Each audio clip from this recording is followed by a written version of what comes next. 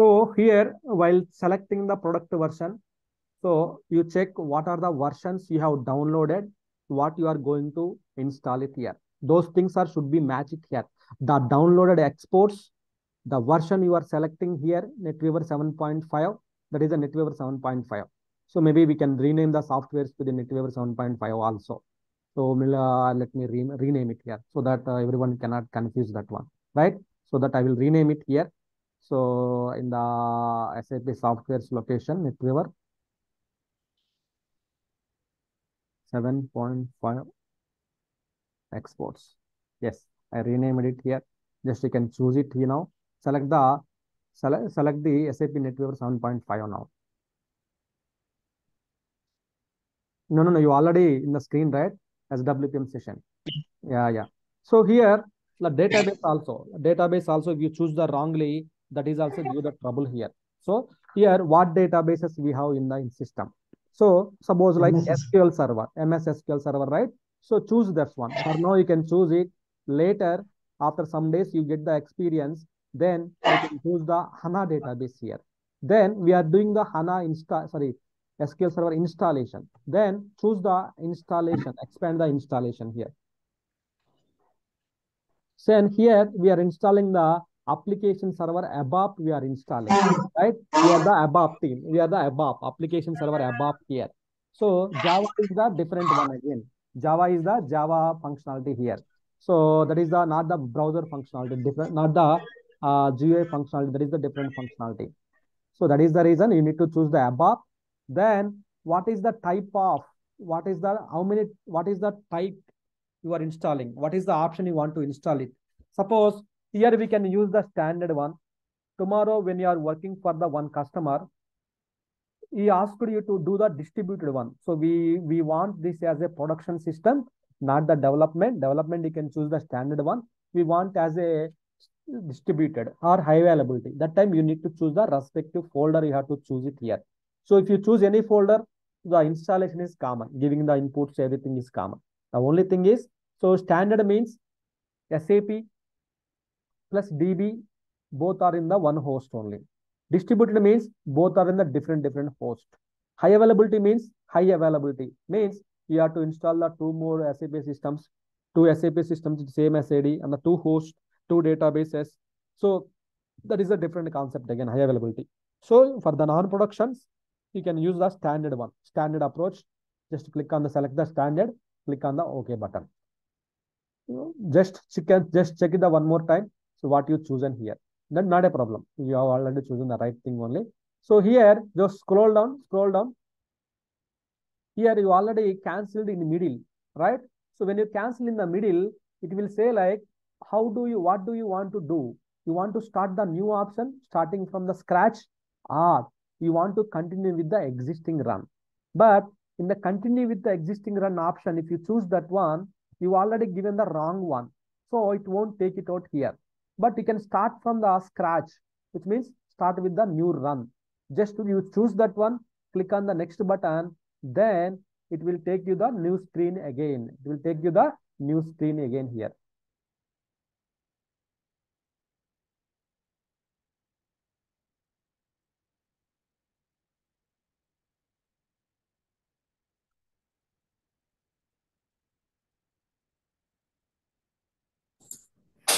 Sir, in the backend already SQL Server is installed. Yeah, yeah, SAP, uh, yeah. SQL is installed already. DB first installation we have done it here. Why? Because in the three-tier architecture, SAP three-tier architecture, so we have the presentation layer, application layer, DB layer. So first we have to install the base. Basement means so OS we have to install it. On top of OS DB we have to install it. On top of DB we have to install the application. So application database is the first priority here. So you have to install the DB is the first priority here. So DB installation is done, then only application we have to do it here. Otherwise, what happened? You have not done the DB installation.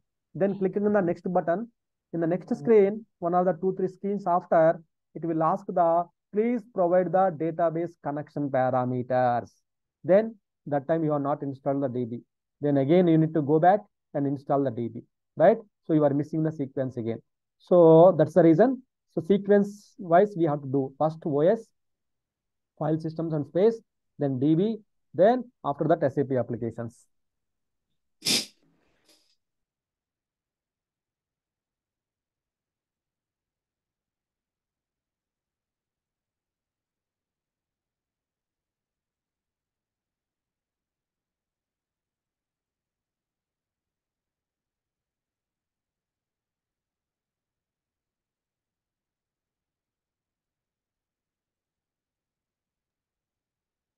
But OS is we are already installing in the OS only now, sir. Yeah, yeah, OS already there, same OS, so no problem. Same as. Mhm. Here SID, SAP SID you need to give here. So what is the SID you want to install? You can give the that SID name here. SID is the three alpha numeric characters here. So you need to choose the correct SID, just click on the next button, then that will be finished here. Now you can go with the other options also, right? So who whoever having any issues, others, everyone is okay for the installations. Still anyone left to do installations? Just at least giving the inputs. Yes, sir. I'm yet to practice. Okay, Not uh, started. yeah, I can utilize this three days, two days time, today, tomorrow, and the day after tomorrow. Yes, Sunday. Everyone, Mhm. yeah. But by Sunday, by Sunday night, when you start the morning class by Monday, so system Yeah. should be ready here. Why? Because otherwise, we will not progress our uh, again administration activities here. We are just we are discussing the installations only. We are stuck in the installations. Sure, So sir. yeah, that is the one. I just wanted to ask one doubt here. Yeah. Yeah, uh, so uh, this is a greenfield, right? So uh, I I'm not sure if this is uh, opting for greenfield or greenfield. I just wanted to ask. Greenfield, it's a greenfield installation we are doing. Okay, okay. So for the brownfield, is it different or? Brownfield means, uh, I will tell you in the examples here. Uh, Sudhir, you can Mhm. proceed with the next button and uh, you can continue the next roadmap steps. Fine? Right? You can proceed, right? You no need to navigate at all the screens. Just you can go to the next screen, next screen, something like that, right? But uh, you need to provide the inputs. Okay, I'm grabbing your screen.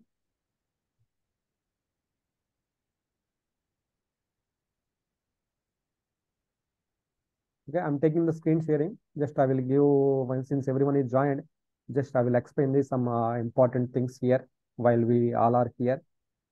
Because at least something we need Okay, to sir. something we need to uh, learn here.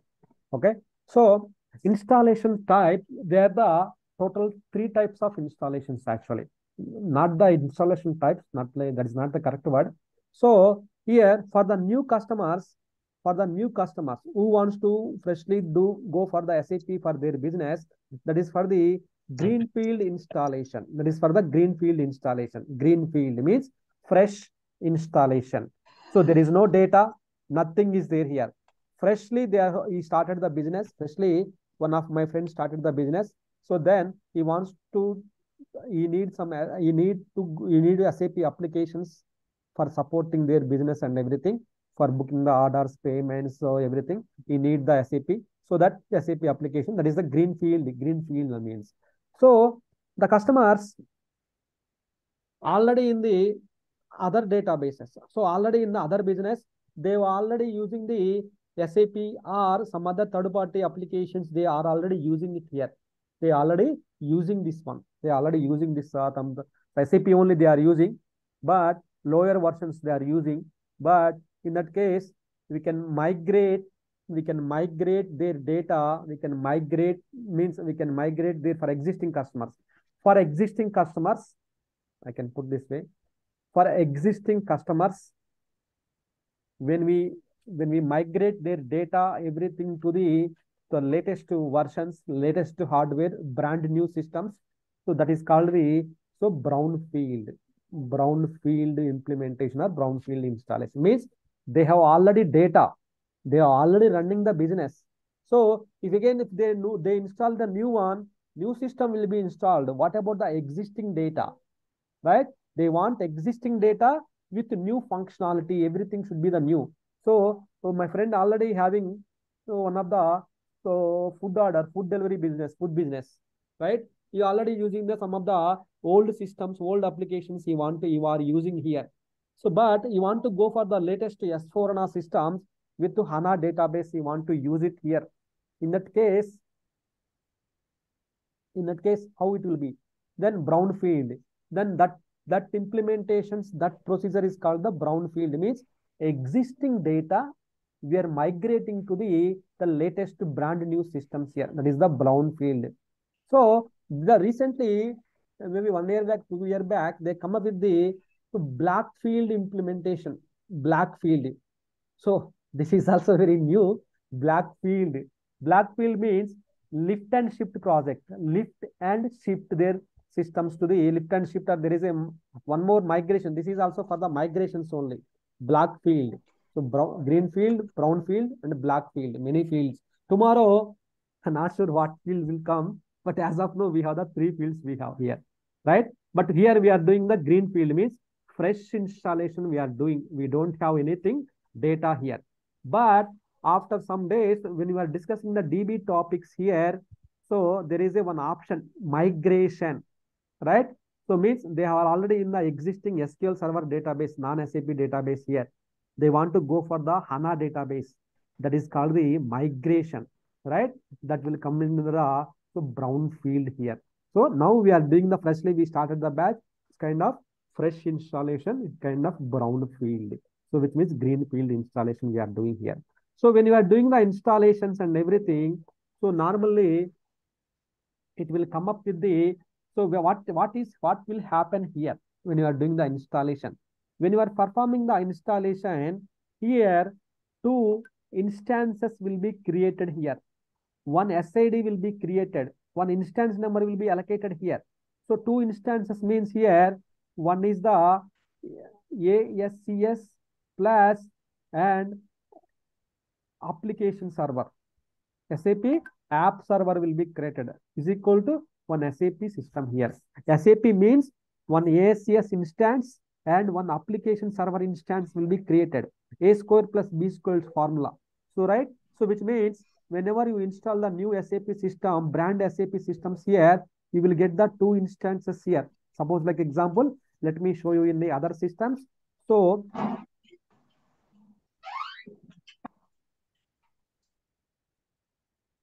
this is a SAP screen. This is a SAP screen looks like here, right? This is the SAP screen. So, how it will be look like here? This is the screens looks like the SAP screen here. So this SAP will be installed when you done the installation here. In MMC, you will, you will see the desktop in the MMC. MMC will be created. In the MMC, you will see the systems, whatever the installation you have done it, all the systems will come to the displays here. Suppose if you put the ECP, ECD, something like that, your all SAP systems will come to the like this year. So, which means you see the green status here. Green means your SAP systems are up and running here. Green means SAP systems are up and running means, which means under the each SID, under the each SID here, you see two instances here. Under the each SID, you see the two instances here, two instances here, right? So once you've done the complete installation, you will see the one SID. Under, you will see the one SID here. Under that, you will see the, so two instances here. One is the ASCS instance. Second one is the application server instance here. Sir, how can we say? Is there any name written here? This is like ASCS. This is the SCS means. So how can we identify means that I will explain after you done the installation here. But basically, when you done the installation, two instances will be created in the green color.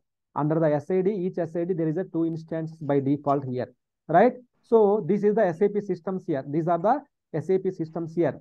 These SAP systems we have to connect to through your GUI. SAP GUI is the one of the tool to open the SAP applications here. To log into the SAP application, you need the SAP logon pad here in the presentation layer, right? So that is the main thing here. So why? Because the architecture of the SAP is like presentation layer, then application layer, and DB layer here. So application layer. in the application, this is the SAP application layer, right? When you install SAP application layer here, you see two instances will be created. One is the so SCS inst ASCS instance. Second one is the two will be created. So in the application layer, two instances. instances. Two instances will be created here. So one is the application layer, one is the app server here. So this will communicate to the you communicate to the here and this will communicate to the here and this will communicate to the here. This is the the overall the process flow of the SAP here, right? This will communicate to the here. The sequence wise steps will be happen into the SAP systems here. So now what you are doing? So here, here, you are here, you are doing the installation of the this layer, this SAP layer, you are doing the installation here. This SAP layer, you are doing the installation here. So in this SAP layer, you are doing the installation, but it is creating the two instances inside that one. Two instances it is creating here. One is the app server, the second one is the ASCS instance. It is creating the two instances here. So these two are called the here you are building the two instances here. This box, this box you are building here. These two boxes you are building here while doing the installation here. Any SAP installation, two boxes you are filling here. So right. So this is what you want to do. So for the installation here, right? Without doing this one, how can we log into the SAP? How can we do the, our activities? It's not possible. That's why installation is our first priority for the SAP basis consultant right? So here you will get the one SID, two instances, you will get it out here. Apart from that, apart from that, during the installation, what is happening in the installation, it will ask the list of users, passwords for the all the users it is asking, right? Password for the all the users here. Password for the all the users means here, one is the, so here, two, three layers, the passwords will be created here. One is the OS layer and SAP layer and the DB layer here. In the operating system layer here, you see SID ADM user will be created here. And also the DB SAP layer, SAP star and DDIC users will be created here. In the database layer here, so SID, DB, SID, ADM will be created. So this part you can ignore it for now. Okay. So for now, OS, when you are doing the installation, normally in one of the phase, it is asking the, please provide the password for the all the users all the users then you are providing the one password all the users means what are the users are creating here so one is the operating system user two are the sap level users are creating here why because when you want to log into the sap system which user will you use well, you need one user id right so common user ids you have to use it here these are the user ids creating this is the sap sid adm users are creating here so this is the one of the important question. Sometimes they may ask you. So you done the installation. You seems to be kept in the one role like you done the installation. Can you please explain what exactly is creating during the installation? In the installation, when you are doing the installation, two instances will be created. Then there are a couple of users will be created. So couple of users means, can you explain in a little bit more? So OS level one user, SAP level two users, DB level one more user will be created. Okay, that's perfect, perfectly fine here. When it will be created during the installation time here. So when this installation instances will be created here during the installation. So all will be created during the installation. Sir, what is meant by SID ADM here? SID ADM means suppose if you give the dev, dev ADM is the user is will be created here. Dev ADM will be created. If you use the PRD, then PRD ADM will be created here. If you use the XYZ, XYZ ADM user is created here. So like that, each SID one user is created here in the system. Right? This is SAP level users, DB level users. So this is the main instances here. So okay, that you will get some clarity here. Right? So once you perfect, once installation is done, then what next here? We need to log into the, our SAP systems here. Right? So once you've done the installation, so I have to install the SAP logon pad here. SAP GUI is the one of the tool to log into the SAP systems here. To log into the SAP system, you need the SAP GUI. SAP logon pad is required here. So that I have to install in this machine so that so by Monday all will be we can once you done the installation systems are available in the MMC here. Here nothing is there. Why? Because we have not done the any installations here. Here there is no GUI. Nothing is there here. So what you can do, you can you can use the service, you can just complete the installations here. So complete the installations. Then so system on system are ready. then we can discuss lot of things we have to discuss here